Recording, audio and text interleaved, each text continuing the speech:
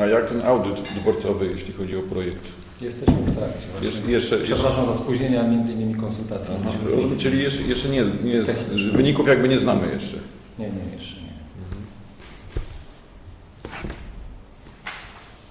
A na jakim etapie jest projekt y, budowy dworca? Zostały złożone dokumenty do pozwolenia na budowę i w tej chwili jest on weryfikowany. No mówiło się o tych zmianach, które mają wejść, opalowanie i tak dalej. Na ile to, dorośli Właśnie no, w tej chwili weryfikujemy te sprawy. Właśnie przed chwileczką mieliśmy spotkanie z konstruktorami, e, zalecając pewne inne alternatywne podejście, jak również konsultujemy to z ośrodkiem naukowym, który ma nam pomóc, bo proszę Państwa, te pale, bo to gdzieś tu już urosła taka informacja, że te pale to nie jest kwestia nacisku, tylko wyporności. One mają zabezpieczyć przed y, wypornością wód gruntowych, które będą wypychały ten y, cały element, jakim jest y, dworzec, w związku z czym przede wszystkim najważniejszy element w tym, w tym projekcie, czyli przejście podziemne, w związku z czym one mają zakotwiczyć całość tej konstrukcji w, w y, gruncie, który jest stabilny, a nie odwrotnie. Także tutaj to urosły takie trochę niedopowiedzenia, które, które gdzieś tam funkcjonują, że, że rozwiązania techniczne są takie czy inne. I szukamy też innych technologii na, na rozwiązanie tego problemu. Czyli należy rozumieć, że projekt już jest ostatecznie zakończony, że jest zapłacony, że teraz już jest kwestia czekania na pozwolenie na budowę. Nie, nie, O takim, o takim elemencie możemy mówić, jak będzie pozwolenie na budowę. W tej chwili jeszcze jego nie ma, bo jeszcze są te uwagi konstrukcyjne. Natomiast co do wyglądu obiektów czy coś, no to, to tutaj absolutnie się nic nie będzie zmieniało. Projekt Kwestia został jest- opłacony Tomku Tak. w około 60% Tak. y, swojej wartości, Czyli 40%. Wchodzą do realizacji tylko kwestia zmian poprawek. Techniczne. Że jest ostatecznie. 40% y, należności y, nie zostało wypłaconych, bo, bo zgodnie z obowiązującą umową z biurem projektowym one będą wypłacone po, y, po, po zakończeniu prac projektowych. A kiedy będzie znany wynik tego audytu, wiadomo? W tym Bo, momencie... bo, bo pamiętam, że była mowa, że mniej więcej koniec czerwca. Tak, więc- natomiast y, tak jak burmistrz y, powiedział, w tej chwili właśnie kwestie wyporności, czy nacisku, tak, czy, czy, czy ogólnie rzecz ujmując tego palowania i skali tego palowania będą konsultowane przez naukowców z, z Uniwersytetu Poznańskiego. Tak. chyba. I dobrze pamiętam. Pan profesor Rzeźniczak, To właśnie. Najwiękzy autorytet w Polsce na pewno. Y, To jest, y, to, jest, to jest osoba, która także konsultowała z nami kwestie związane mm, z palowaniem i z zakresem palowania drogi wspomagającej do S3 w momencie, kiedy, kiedy, kiedy tam ta niestabilność gruntu została przez nas zauważona. Mm, No i tutaj wracamy do współpracy tak, w zakresie dworca.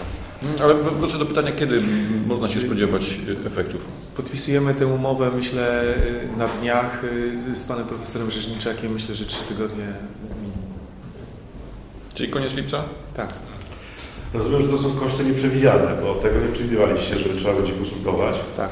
One stosunku do całego projektu są nieduże, ale proszę powiedzieć, bo warunki geologiczne się nie zmieniły od lat. To i Austriacy projektując też mieli te same warunki ge- geologiczne. W związku z tym każdy, kto dostawał, e, dostałby, czy dostał ten teren do zaprojektowania, no to dysponował tym samym.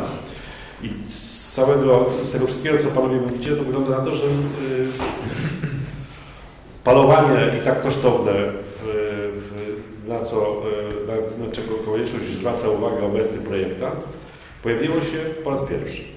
Tak, ja, ja spróbuję wytłumaczyć, bo to nie rozmawiamy jako logicznie. eksperci w tej chwili budowlani, tylko trochę, trochę jak laicy, ale jednak. Przepraszam, tylko jedno zdanie. Austriacy nie projektowali y, tego przedsięwzięcia Tylko wizję, koncepcję. Koncepcja. Tak. konstrukcyjnym. Tak? tak. Natomiast Później przeprowadziliśmy szereg badań geologicznych tak? i na podstawie tychże badań geologicznych, czyli po uzyskaniu, y, myślę, że wszechstronnej wiedzy na temat właśnie warunków, bo pan redaktor powiedział, że o warunkach y, geologicznych wiadomo nie od dzisiaj. Wiadomo z relacji y, chociażby takich inwestorów jak Henryk Mazur, który, y, który kładł tam, nie wiem, infrastrukturę techniczną, tak? I, i według niego na Ale nie 4 były metrach... przygotowane pod ten projekt. E, Tak, jest woda gruntowa. Natomiast po wykonaniu badań geologicznych mamy wiedzę co do specyfiki gruntu.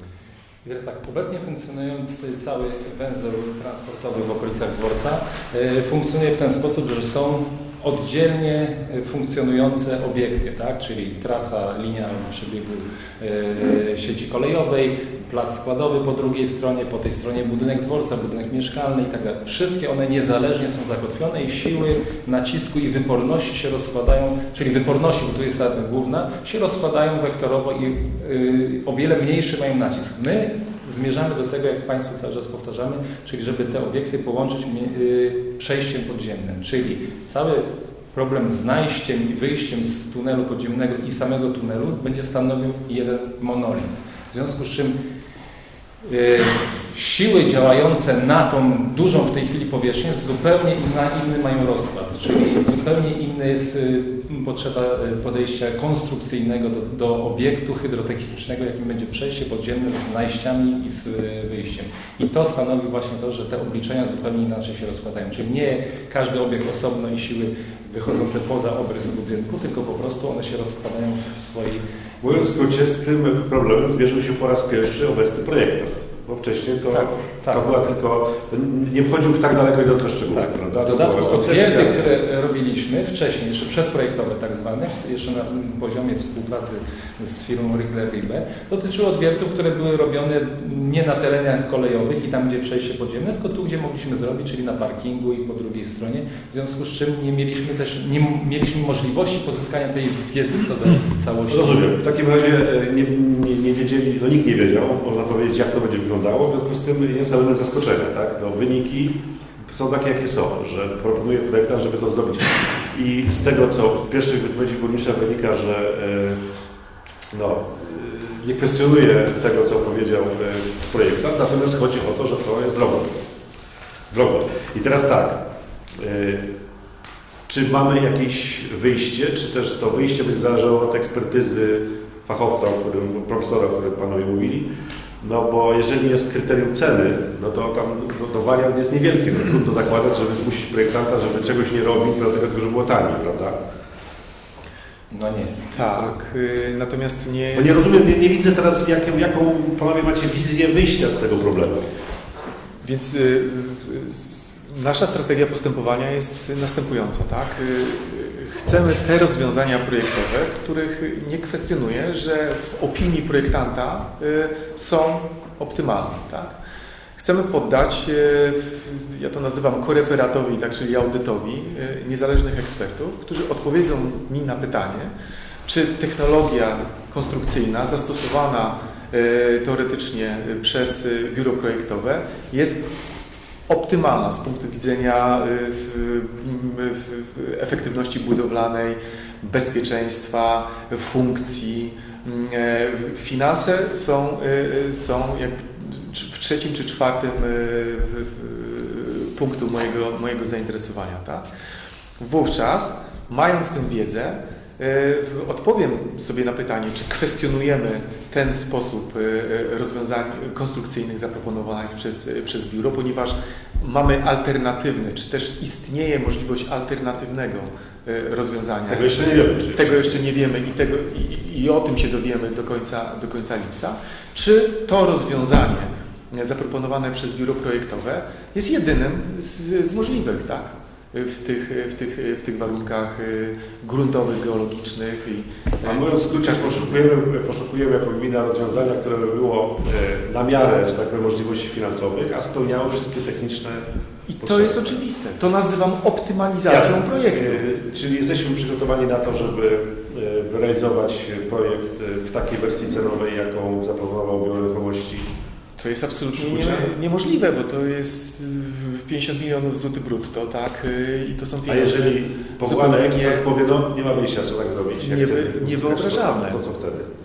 Nie będziemy wtedy myśleć po prostu. Nie będziemy, nie będziemy realizować tego za 50 milionów złotych, tak?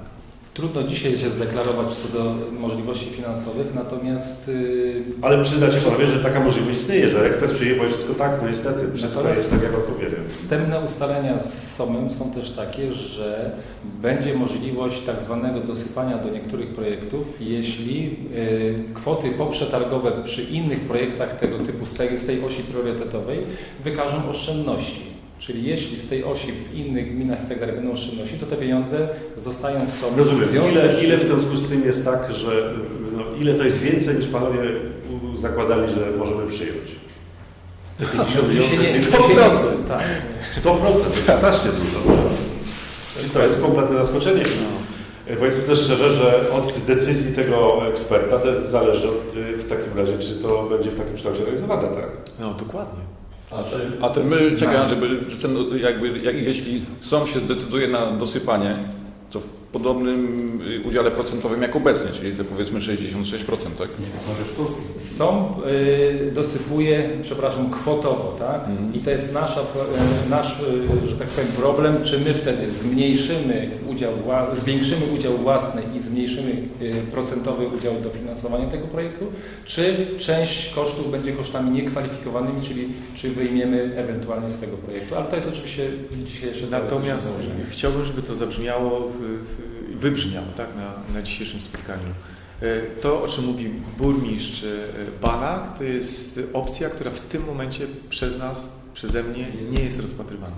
No to jest to są wyzwania, ale myślę, że gdyby to nie wyszło, czyli na przykład alternatywna jakaś droga, na przykład przejście na drugą stronę. Właśnie, no e, dokładnie. nie do- Więc tutaj burmistrz pokazał, tak, jakby w, w, sposób absolutnie fragmentaryczny powody czy, czy przesłanki tak, y, do, do takich rozwiązań, rozwiązań konstrukcyjnych, a więc y, trzeba będzie sięgnąć do tych, do tych, do tych przesłanek, tak, czy, czy, czy realizować obiekt, który, w, w, czy obiekty, które w, w inny sposób rozkładają, nie wiem, siły nacisku, wyporności i tak dalej, tak, to jest Tak, żeby się to planowane jest budżecie, tak? przed nami.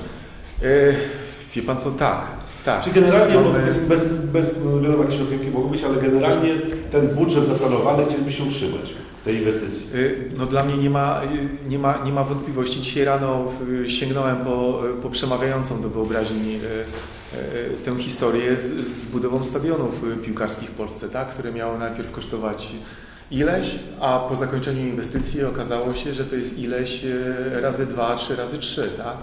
I, i, i, to jest e, to, to, to, to, to niebezpieczeństwo e, w, destabilizacji finansów publicznych tak, e, e, gminy. Więc zakładam sobie pewne warunki brzegowe prowadzenia inwestycji. Jednym z nich jest kwota, którą A dysponujemy. czy drugim jest to, że jeżeli kwota jest y, y, istotna, a to drugim jest też manewr, jeżeli chodzi o, to już słyszeliśmy, jeśli chodzi o przyjęcie innych rozwiązań alternatywnych, czyli nie górą, to, to nie dołem, to górą i tak dalej. Właśnie.